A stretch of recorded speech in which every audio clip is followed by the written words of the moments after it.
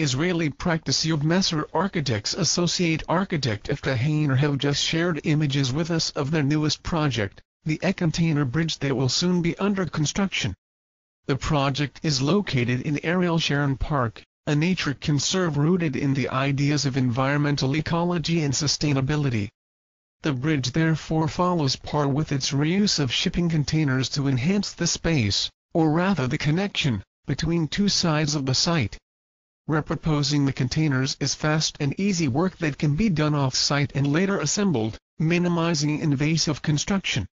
A new steel truss will be integrated with the metal boxes as the primary structure of the bridge, with two cantilevering observation platforms offering specific views of the horizon. The deck will accommodate pedestrian and light vehicle traffic, freeing the roadways for vehicles and improving the flow of both.